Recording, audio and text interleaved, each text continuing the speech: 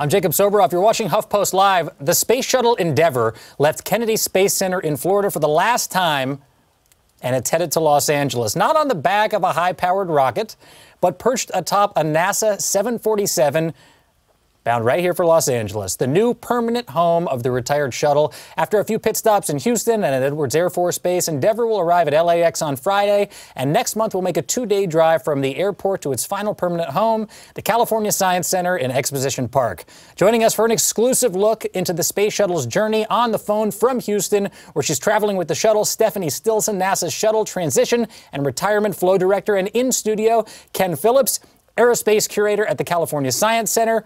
My dad is here, Steve Soboroff, the Senior Advisor to the California Science Center's Space Shuttle Project, and Cara Santa Maria, Senior Science Correspondent at the Huffington Post. I want to talk to you, Ken. Um, this is something that started, uh, this has been years in the making. Um, 20 years, yeah. 20 years in wow. the making. This yeah, must be, uh, this just must be an unbelievable moment for you, knowing that the Space Shuttle is on its way here to Los Angeles. The first real conversation I had with our President, Jeff Rudolph, the first real substantive conversation was a list of artifacts, objects that we thought would make a really world-class uh, experience.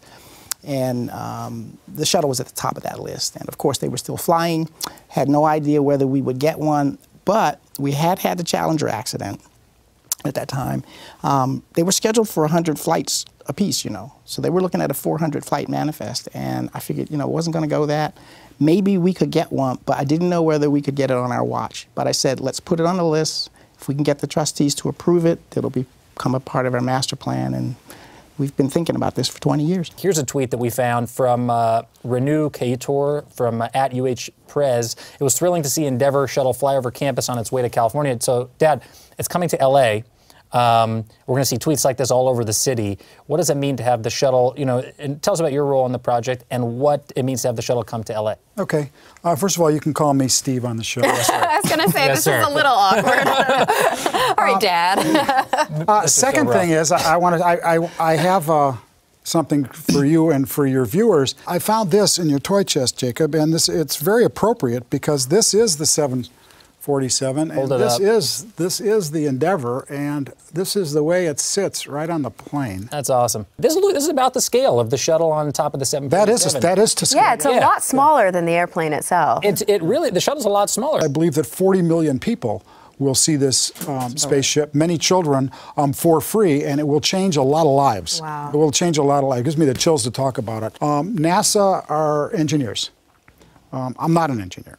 When we traveled on the route, it's, it's got to go on the ground um, to the California Science Center from LAX. This is going to be a historic drive, but uh, but as it goes, when we, we when uh, when the when the engineers were taking, they're doing laser studies and everything else because buildings you can't move. Right. People are going to wake up along the route and see this thing a few inches from their window. So that's a few inches to me, and my my feeling was, oh my gosh, to the NASA people, no problem. They're used to dealing in a billionth of an inch. Yeah.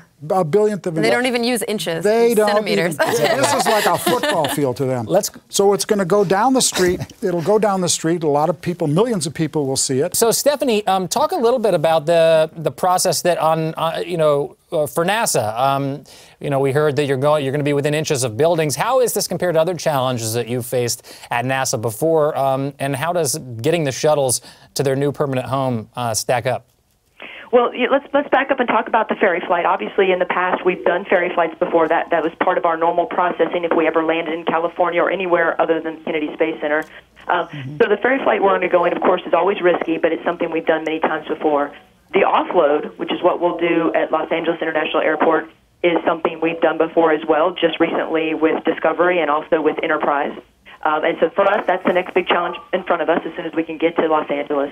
And that is about a 12 hour process. Then we'll take the vehicle on top of the transporter into the United hangar and do some final preparation of Endeavour so that it's ready to turn over to the California Science Center.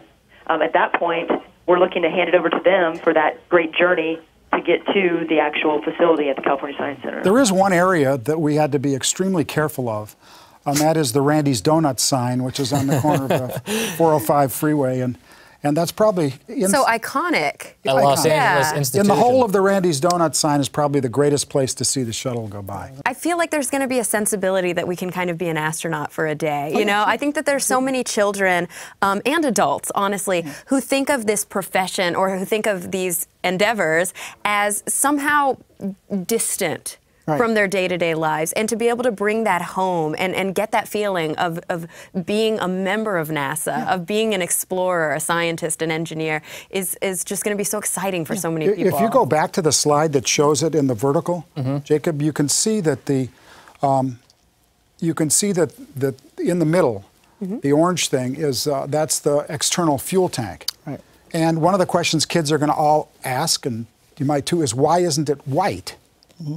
And the reason it isn't white is because Paint paint weighs, so take the paint off and pa- you, you the white save a lot of paint weight. weighed 250 pounds. Now this is something I something think it's more that like weighs. 600, if I remember correctly. Oh, really? That's There fat paint. There must be a big Mac. This guy's this. Don't listen to this guy. He's not a scientist. Listen to Ken.